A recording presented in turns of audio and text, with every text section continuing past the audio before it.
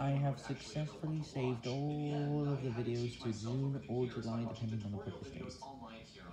This is to sort everything out, we may not have saved everything to a playlist, but the forgotten videos have been saved to the necessary playlist. All videos must be saved to at least 3 playlists.